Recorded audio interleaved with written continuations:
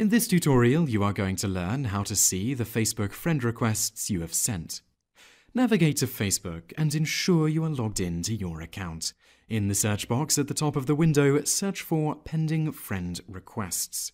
Click on the first option in the list that appears, which should be an app. In the new page that loads, click on the Go to App button and then click Allow on the following page. You will then be redirected to the main page for the app and you will need to load the relevant data by clicking the Bulk Load button. Click the Get Friend Request Data and in the window that appears, copy all of the information. Close the window and paste the data into the text box on the other page. Finally, click Load Friend Requests and you will be redirected to the previous page where you will see a list of people you have requested the friendship of.